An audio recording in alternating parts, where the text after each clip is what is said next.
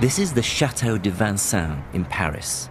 Events here would motivate one man's journey to uncover the cosmic truth about the steam engine and help to create a new science the science of heat and motion, thermodynamics.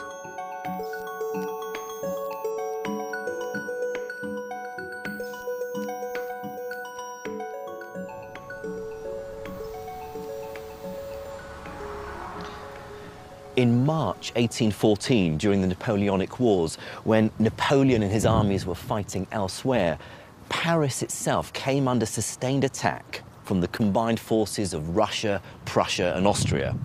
And citizens of the city were deployed around key locations to protect them. Now, this chateau was being defended by a group of inexperienced young students who were forced to retreat under sustained artillery fire. One of them was a brilliant young scientist and soldier. His name was Nicolas Leonard Sadi Carnot. And the humiliation he felt personally would drive him and motivate him to uncover a profound insight into how all engines work.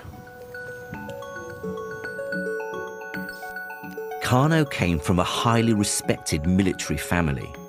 After the French defeat here and elsewhere around Europe, he became determined to reclaim French pride.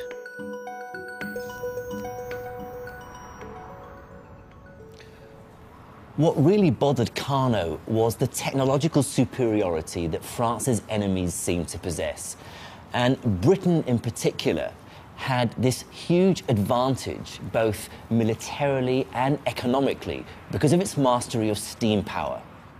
So Carnot vowed to really try and understand how steam engines work and use that knowledge for the benefit of France. He says absolutely explicitly that if you could take away steam engines from Britain, then the British Empire would collapse. And he's writing in the wake of French military defeat, and he proposes to analyse, literally, the source of British power by analysing the way in which fire and heat engines work. Living on half pay with his brother Hippolyte in a small apartment in Paris, in 1824, Carnot wrote the now legendary Reflections on the Motive Power of Fire. In just under 60 pages, he developed and abstracted the fundamental way in which all heat engines work. Carnot saw that all heat engines comprised of a hot source in cooler surroundings. Now, Carnot believed that heat was some kind of substance that would flow like water from the hot to the cool.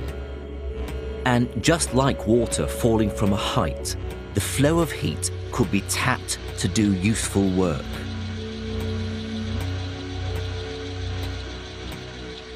Carnot's crucial insight was to show that to make any heat engine more efficient, all you had to do was to increase the difference in temperature between the heat source and the cooler surroundings.